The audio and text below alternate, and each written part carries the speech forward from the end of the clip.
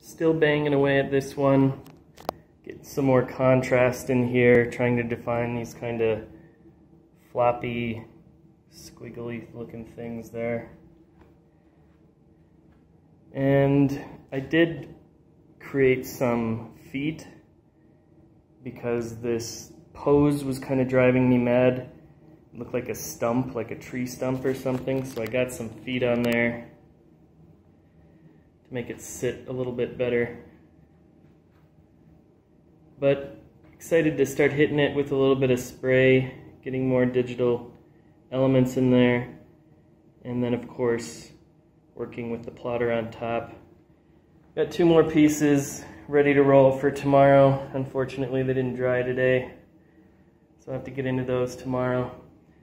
But otherwise, just kind of slow and easy on this one today. Cloudy out.